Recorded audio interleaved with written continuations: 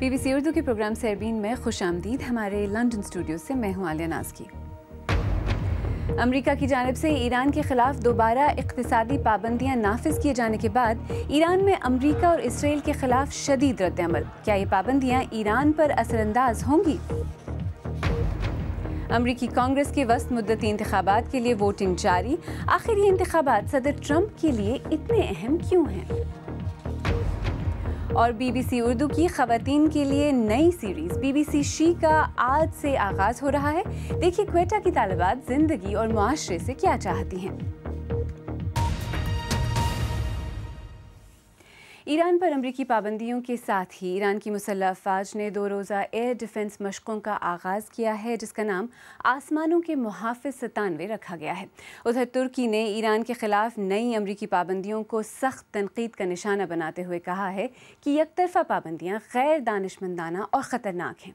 امریکی صدر Donald Trump نے عالمی جوہری معاہدے سے الگ ہونے کے بعد ایران کے خلاف سخت پابندیاں عائد کرنے کا اعلان کیا تھا۔ ان پابندیوں کا اطلاق پیر پانچ نومبر سے ہو چکا ہے۔ تفصیل کے ساتھ غزنفر حیدر۔ یہ منظر ایران میں ہونے والی جنگی مشقوں کا ہے۔ یہ مشقیں اسی دن کی گئیں جس دن ایران پر پابندیوں کا سلسلہ دوبارہ شروع کیا گیا۔ ان پابندیوں کا ہدف ایران میں تیل کی صنعت اور بینکاری کا شعبہ بھی ہے۔ ہم اس وقت اقتصادی جنگ لڑ رہے ہیں۔ ہمارا مقابلہ ایک دھونس جمانے والی طاقت سے ہے۔ ہم فخر سے آپ کی غیر قانونی اور ظالمانہ پابندیوں کی خلاف ورزی کریں گے۔ تہران میں مظاہرین کو امریکی پرچم کو روایتی انداز میں جلاتے دیکھا جا سکتا ہے۔ ان پابندیوں کا مقصد عام آدمی کے لیے روزمرہ کی اشیاء، دوائیں اور تیل کی خریداری مشکل بنانا ہے۔ ایک ایسی معیشت میں جہاں زندگی پہلے ہی آسان نہیں، لیکن ان پابندیوں کو چار سال پہلے ایک تاریخی معاہدے کے بعد ہٹا لیا گیا تھا۔ ایران نے اس وقت اپنی جوہری سرگرمیاں محدود کرنے پر رضامندی ظاہر کی تھی۔ جس کے بدلے اس کے لیے مغربی ممالک کے لیے تجارت کھول دی گئی۔ لیکن امریکی صدر ڈونلڈ ٹرمپ کا موقف ہے کہ ایران نے اپنے وعدوں کی خلاف ورزی کی ہے۔ وہ ایران کو دہشت گردی کی معاونت کرنے والی سب سے بڑی ریاست کہتے ہیں۔ اور یہ بھی کہ تجارت سے حاصل کیے ہوئے پیسے سے ایران خطے کو غیر مستحکم کر رہا ہے۔ کچھ ماہ کے لیے ایران اپنے تیل کا کچھ حصہ چند منتخب شدہ ممالک کو بیچ سکے گا۔ ایسا اس لیے کیا گیا ہے کہ اگر ایرانی تیل کو یکدم مکمل طور پر مارکیٹ سے نکال دیا گیا تو تیل کی معیشت عدم استحکام کا شکار ہو جائے گی۔ اسلامی جمہوریہ ایران مشرق وسطی کو غیر مستحکم کرنے والی سب سے بڑی طاقت ہے۔ ان کے پاس دو راستے ہیں یا تو سیدھے راستے پر آ جائیں یا پھر اپنی معیشت کو چکنا چور ہوتے دیکھیں۔ سوال یہ ہے کہ ان پابندیوں سے برطانیہ اور یورپی کمپنیوں پر کیا اثرات مرتب ہوں گے؟ کچھ یورپی ممالک جو ابھی بھی جوہری معاہدے کا حصہ ہیں کہہ چکے ہیں کہ وہ ایران پر پابندیوں کے باوجود کام جاری رکھنے میں مدد کریں گے۔ برطانوی حکومت امریکی اقدامات سے خوش نہیں ہے۔ ہم جوہری معاہدے کے اندر رہتے ہوئے اس پر کام کر سکتے ہیں۔ برطانیہ یہ نہیں کہہ رہا کہ امریکہ کے خدشات درست نہیں لیکن مسئلے کو حل کرنے کا جو طریقہ اپنایا گیا ہے وہ نامناسب ہے۔ ایران کی معیشت کے لیے ماحول غیر یقینی ہے اور اگر حالات اسی طرح رہے تو ایران کی عوام کے لیے مشکلات تیزی سے بڑھتی جائیں گی۔ اور اسی بار میں مزید بات کرنے کے لیے اس وقت آکسفرڈ اسٹوڈیو سے ہمارے ساتھ براہ راست موجود ہیں بادسپا یونیورسٹی میں بین الاقوامی امور کے ماہر ڈاکٹر افتخار ملک، ڈاکٹر ملک سیربین میں خوش آمدید۔ جب امریکی وزیر خارجہ ایران کے غیر قانونی طریقہ کار کی بات کرتے ہیں یا 180 ڈگری ٹرن کی بات کرتے ہیں تو امریکہ ایران سے دراصل چاہتا کیا ہے؟ میرے خیال میں امریکہ کے صدر جو ہیں، وہ اسرائیل کے پریشر میں بھی ہیں، سعودی عرب اور یو اے اے کی بھی پریشر میں ہیں کہ ایران کو آئسولیٹ کیا جائے، کیونکہ آپ کو پتہ ہے، سیریا میں جو حالات ہوئی ہیں، یا لیبنان میں حزب اللہ ہے، یا ابھی یمن کی لڑائی جاری ہے، تو اس میں ایران کافی حد تک ایک ریجنل پاور کے طور پہ سامنے آیا ہے۔ تو ایران کو ایک پولیٹیکل تھریٹ کے طور پہ دیکھا جاتا ہے، سعودی عرب میں، اسرائیل میں اور امریکہ میں۔ اور یہ ہواری ہیں پریزیڈنٹ ٹرمپ کے۔ ساتھ ہی میرے خیال میں ان کو یہ بھی فکر ہے کہ ایران کا اثر جو ہے وہ عراق میں بھی کافی حد تک بڑھ چکا ہے، اسلامک اسٹیٹ کے جانے کے بعد۔ اور کچھ میرے خیال میں کچھ امریکیوں کو یہ شکایت بھی ہے کہ شاید افغانستان میں طالبان کو بھی کسی طریقے سے ایران کی حمایت ہے۔ تو میرے خیال میں ایران کی بڑھتی ہوئی پولیٹیکل پروفائل جو ہے مسلم ورلڈ میں، اس سے بہت سارے ممالک کو خدشہ ہے اور وہ چاہتے ہیں کہ اکنامک سیکشنز کے تھرو اس کو کنٹین کیا جائے۔ اچھا ڈاکٹر صاحب، برطانیہ، جرمنی، فرانس سب نے ان یورپی فرمز کی حمایت کا وعدہ کیا ہے جو قانونی طور پر ایران کے ساتھ کام کریں یا ان کے ساتھ تجارت کریں؟ کیا یہ ممکن ہے کہ ایسا ہو سکتا ہے اور کیا اس سے جو سینکشنز کا اثر ہے وہ کم ہوگا ایران پر؟ یہ ایک پولیٹیکل قسم کی ٹیکٹس ہے، لیکن اس سے زیادہ یورپین یونین یا برطانیہ آگے نہیں جائے گا۔ آپ نے دیکھا ہے کہ اس سے پہلے بھی کئی دفعہ جو ایسے انٹرنیشنل واقعات ہوئی ہیں، اس میں یورپ نے اپنی آواز بلند کرنے کی کوشش کی ہے۔ خواہ وہ جروسلم کے حوالے سے ہے یا کسی اس قسم کے اور مڈل ایسٹرن پالیٹکس میں ہے۔ تو وہ میرے خیال میں آخر میں بات امریکہ کی چلتی ہے اور امریکہ کے ساتھ پاورفل ایلائز ہیں، جیسے سعودی عرب ہے، اسرائیل ہے اور یونائٹڈ عرب ایمریٹس ہے۔ تو میرا خیال ہے ترکی کی طرف سے اگر مخالفت ہوتی ہے یا یورپین یونین کی طرف سے تو وہ ایک پولیٹیکل ورباسٹی ہے زبانی جمع خرچ ہے اور پھر یورپ کو اپنے مسائل ہیں کیونکہ یہاں اس وقت سب سے بڑا ایشو جو ہے وہ بریگزٹ ہے جی۔ اور پاپولسٹ پالیٹکس ہے۔ تو مجھے نہیں لگتا کہ یورپ کی وجہ سے یا ترکی کی وجہ سے امریکہ اپنی پالیسی کو رول بیک کرے گا۔ اچھا اور اگر آپ صدر روحانی کا رد عمل دیکھیں تو انہوں نے تو یہ کہا ہے کہ ایران پابندیوں کو توڑ دے گا۔ کیا ایسا ممکن بھی ہے پریکٹیکلی ایران کے لیے؟ وہ کر کیا سکتے ہیں؟ ایران کے لیے بہت مشکل ہے اور ایران کے عوام جو ہیں وہ کافی تکلیف میں ہوں گے کیونکہ ایران کافی حد تک سیڈلی سنگل فیکٹر اکانومی ہے، آئل پہ ڈیپینڈنس ہے اور آئل کو وقتی طور پہ تو ایٹ کنٹریز کو سپلائی کرنے کے لیے امریکہ نے ایک میکنزم ڈیولپ کیا ہے، لیکن ان دا لانگ رن یہ سارا سورس ڈرائی ہو جائے گا۔ تو ایران کے لیے اپنی بنیادی ضروریات کو پورا کرنے کے لیے بہت مشکل ہوگا۔ چائنا، انڈیا، اٹلی، یہ سارے کنٹریز جو ہیں، ساؤتھ کوریا، یہ پریشر میں ہیں کہ وہ ایران سے اپنے تعلقات جو ہیں وہ ختم کریں یا کم کریں۔ تو اس سے ایران پہ میرے خیال میں اکنامک ایشوز ہوں گے اور اور مغرب میں صدر ٹرمپ بھی یہی چاہتے ہیں کہ ایران کے اندر ڈسلوژنمنٹ پڑے بیزاری پڑے اور ملک کے اندر صدر روحانی اور موجودہ گورنمنٹ کے خلاف کسی قسم کی ایک موومنٹ شروع ہو اور ایونچولی اس گورنمنٹ کو کسی اور گورنمنٹ سے ریپلیس کیا جائے۔ آکسفرڈ سے ڈاکٹر افتخار ملک، ہم سے بات کرنے کا بہت شکریہ۔ آئیے اب دیکھتے ہیں کہ اس بارے میں بی بی سی اردو کے فیس بک پیج پر کیا رد عمل ہے۔ شیراز خان پاکستان سے لکھتے ہیں، امریکہ کا حشر افغانستان میں ہوا ہے یا ہو رہا ہے؟ اس کے لیے یہی سبق کافی ہے۔ وہ ایران میں کبھی نہیں پھنسنا چاہے گا۔ مبین خان کراچی سے لکھتے ہیں، مختلف ممالک پر امریکی پابندیوں سے صرف بدمنی اور تنازعات ہی پیدا ہوں گے، نہ کہ مثبت نتائج اور امن۔ اور سمیر عظمت لاہور سے لکھتی ہیں، امریکہ اپنے آپ کو دنیا کا شرف سمجھتا ہے اور یہ چیز میرے لیے قابل قبول نہیں۔ ایران یا کوئی بھی آزاد ملک، امریکہ کی بات کیوں مانے؟ اور اب کچھ دیگر اہم خبروں پر بھی ایک نظر۔ امریکہ میں وسط مدتی انتخابات میں آج پولنگ کا عمل جاری ہے۔ امریکی رائے دہندگان سینٹ کی پینتیس اور ایوان نمائندگان کی چار سو پینتیس نشستوں کے لیے امیدواروں کو منتخب کریں گے۔ امریکہ میں ہوم لینڈ سیکیورٹی اور دوسرے متعلقہ اداروں نے کہا ہے کہ انہوں نے ان انتخابات میں بیرونی مداخلت کو روکنے کے لیے غیر معمولی اقدامات کیے ہیں۔ تفصیل کے ساتھ فراز ہاشمی۔ امریکہ کے نصف مدتی انتخابات میں ووٹنگ کا آغاز ہو گیا ہے۔ ووٹنگ کے مرحلے سے قبل کئی ماہ تک جو انتخابی مہم چلائی گئی اسے انتہائی تلخ قرار دیا جا رہا ہے۔ صدر ٹرمپ نے ان انتخابات کو اپنے لیے ریفرینڈم قرار دیا ہے۔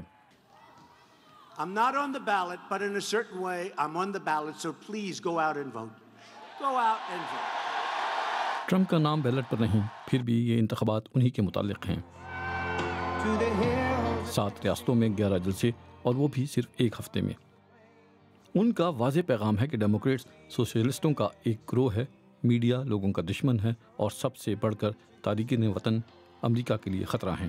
اس وقت جب میں یہ بات کر رہا ہوں اس وقت بھی ڈیموکریٹس دسیوں ہزار غیر قانونی تارکین وطن کو ہمارے ملک میں گھس آنے کی ترغیب دے رہے ہیں۔ ایک اور شخص جس کا نام ووٹ کی پرچی پر نہیں لیکن ڈیموکریٹ پارٹی کے پاس اس سے اچھا کوئی توڑ موجود نہیں اور وہ حقائق کے بارے میں صدر ٹرمپ کے رویے پر توجہ مرکوز کیے ہوئے ہے۔ امریکہ اس وقت دو راہے پر کھڑا ہے۔ اسی لیے آئیڈیاز کی جنگ جاری ہے کہ ہم کون ہیں اور ہم کیسا ملک بنانا چاہتے ہیں۔ اگر رائے عامہ کے جائزوں پر یقین کیا جائے تو شاید ریپبلکن ایوان نمائندگان میں اپنی اکثریت برقرار نہ رکھ پائیں۔ اس سے صدر ٹرمپ کے لیے نئے قانون منظور کرانا مشکل ہو جائے گا۔ Faraz Hashmi B B C news. Iraq میں اقوام متحدہ کی ایک تحقیق میں خود کو دولت اسلامیہ کہنے والی تنظیم کے زیر تسلط علاقوں میں دو سو اجتماعی قبروں کے بارے میں علم ہوا ہے، جہاں ہزاروں افراد کی لاشیں دفن ہیں۔ عراق کے علاقوں نینوا کرکک صلاح الدین اور امبار میں یہ اجتماعی قبریں دریافت ہوئی ہیں۔ اقوام متحدہ کی رپورٹ میں کہا گیا ہے کہ ان قبروں میں بارہ ہزار افراد دفن ہیں۔ فیس بک نے اس رپورٹ سے اتفاق کیا ہے، جس میں کہا گیا ہے کہ میانمار میں وہ اس پلیٹ فارم کے ذریعے مسلمانوں کے خلاف تشدد پر اکسانے کو روکنے میں ناکام رہی ہے۔ یہ رپورٹ جو فیس بک نے آزاد ذرائع سے کرائی ہے، اس میں یہ بھی کہا گیا ہے کہ اس پلیٹ فارم نے ایک ایسا ماحول پیدا کیا جس میں انسانی حقوق کی پامالیوں کو بڑھاوا ملا۔ آسٹریلیا کے مشہور سیاحتی مرکز کوئنز لینڈ میں ایک شخص شارک مچھلی کے حملے سے ہلاک ہو گیا ہے۔ وتھ سنڈے جزیرے کے سڈ ہاربر پر اسی جگہ ستمبر میں بھی شارک مچھلیوں نے دو افراد کو زخمی کر دیا تھا۔ بی بی سی اردو کے پروگرام سیربین میں آگے چل کر دیکھیے گا۔ خواتین کے لیے B B C she series کا کویٹا سے آغاز۔ شہر کی خواتین کیا چاہتی ہیں؟ اور سری لنکا کے تاریخی اور خوبصورت گال کرکٹ گراؤنڈ کو کسی دوسرے مقام پر منتقل کرنے کی وجہ کیا ہے؟ بی بی سی اردو کے پروگرام سیربین میں ایک بار پھر خوش آمدید، میں ہوں عالیہ ناز کی۔ آج سے سیربین میں ہم آغاز کر رہے ہیں ہماری خصوصی series B B C she کا، جس میں ہم پاکستان کے مختلف علاقوں میں جا کر خواتین سے جانیں گے کہ وہ اپنے علاقے کے کن مسائل کو میڈیا میں ہائی لائٹ کروانا چاہتی ہیں۔ پاکستان میں بی بی سی شی کا پہلا پڑاؤ ہے کویٹا اور ہمارے ساتھی Shumaila Jafri B B C she کی ٹیم کے ساتھ سردار بہادر خان ویمنس یونیورسٹی پہنچی۔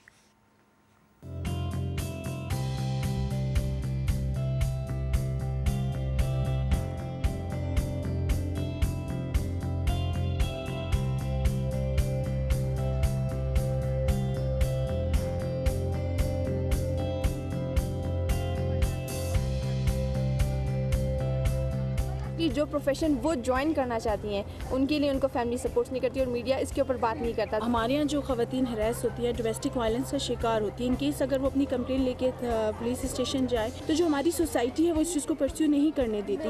اس پہ ایک لیبل لیبل لگ جاتا ہے کہ بری عورت ہے۔ یہاں پہ جینڈر ڈسکرمنیشن ہے یہ ہمیں مانی چاہیے۔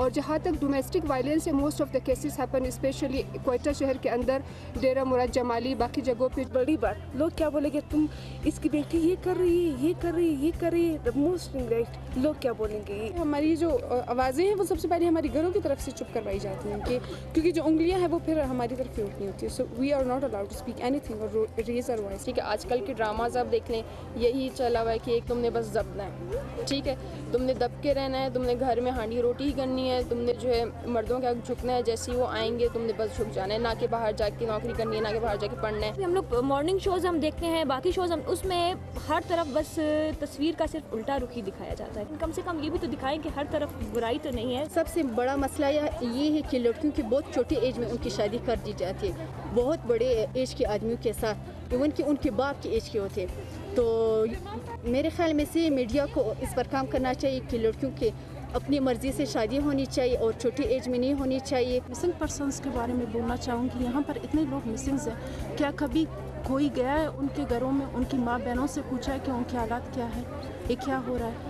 لیکن دکھائی نہیں جاتا ہے۔ ہمارا میڈیا بلیک سینسرشپ میں ہے۔ They have to open the minds of our fathers mothers that اگر if a boy can stand in in front of media girl can also میرے پاس وہ چوائس نہیں ہے۔ وہ وہ انہوں نے مجھے وہ الاؤ نہیں کیا جو میرے بھائی لوگ کرتے۔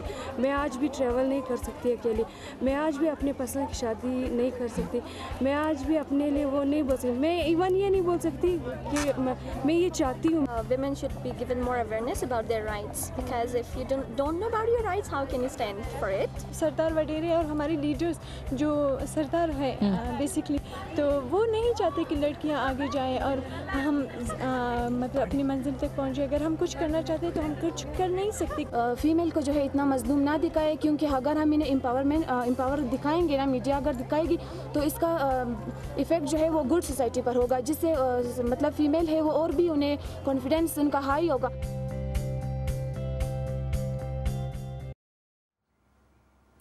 انگلینڈ کی کرکٹ ٹیم نے آج سری لنکا کے ساحلی شہر گال میں سری لنکا کے خلاف اپنے دورے کے پہلے ٹیسٹ کا آغاز کیا ہے۔ بحر ہند اور ستارویں صدی کے ایک ڈچ قلعے کے قریب ہونے اور اپنے دلکش نظارے کی وجہ سے یہ اسٹیڈیم خاصا مشہور ہے۔ ہو سکتا ہے کہ یہ ٹیسٹ میچ وہاں کھیلا جانے والا آخری ٹیسٹ میچ ہو، کیونکہ حکام اسی شہر میں کسی دوسرے مقام پر ایک نیا اسٹیڈیم تعمیر کرنا چاہتے ہیں۔ تفصیل کے ساتھ عارف شمی۔ دنیا کے دلکش مناظر والے اسٹیڈیم میں سے ایک۔ یہ اسٹیڈیم شہر کے وسط میں واقع ہے۔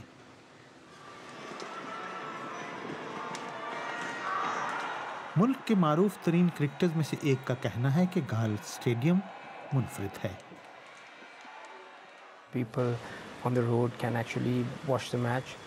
لوگ سڑک سے بھی میچ دیکھ سکتے ہیں۔ اور اگر میچ دلچسپ ہو تو وہ پھر ٹکٹ خرید کر اندر آ جاتے ہیں تاکہ مزید لطف اٹھا سکیں۔ تو اچانک ہی تماشائیوں کی تعداد ایک ہزار سے پانچ یا چھ ہزار تک پہنچ جاتی ہے۔ سن دو ہزار چار میں یہ اسٹیڈیم سونامی سے تباہ ہو گیا تھا اور اس کی اثر نو تعمیر کے لیے دنیا بھر سے رقوم مسول ہوئی تھیں۔ We were touring New Zealand and the first pictures we saw actually of the tsunami was that call ہم نیوزی لینڈ کے دورے پر تھے اور سونامی کے بعد تباہی کی جو پہلی تصاویر ہم نے دیکھی وہ گال سینٹرل بس سٹینڈ اور گال اسٹیڈیم کی تھیں۔ اوپر والی پویلین تک زیر آب آ گئی تھی جس سے ہمیں پانی کی سطح کا اندازہ ہوا۔ ہمارے لیے نئے تعمیر شدہ اسٹیڈیم میں واپس جانا اور کھیلنا بہت خاص تھا۔ حکومت کا کہنا ہے کہ اسٹیڈیم بہت چھوٹا ہے اور وہ چاہتی ہے کہ جدید سہولیات کے ساتھ نئی جگہ پر نیا اسٹیڈیم بنایا جائے۔ بعض شہری اس معاملے میں حکومت کی حمایت کرتے ہیں۔ ان کا کہنا ہے کہ گال میں ایتھلیٹس اور اسکول اس گراؤنڈ کا فائدہ اٹھا سکتے ہیں۔ لیکن کرکٹ کے شائقین کا کہنا ہے کہ اسے کرکٹ اسٹیڈیم کے طور پر ہی محفوظ رکھنا چاہیے۔ اس کی مرکزی پویلین کا ڈیزائن ان قوانین کی خلاف ورزی کرتا ہے جو قریب ہی واقع ایک ٹچ کے لیے تحفظ پہنچاتے ہیں۔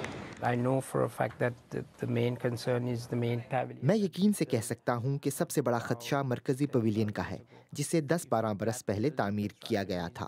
اگر وہ مسئلہ ہے تو ہم اس کے ڈیزائن کو بدل سکتے ہیں اور اسٹیڈیم اور قلعے دونوں کی خوبصورتی کو برقرار رکھتے ہوئے یہاں گال اسٹیڈیم میں ٹیسٹ کرکٹ کھیل سکتے ہیں۔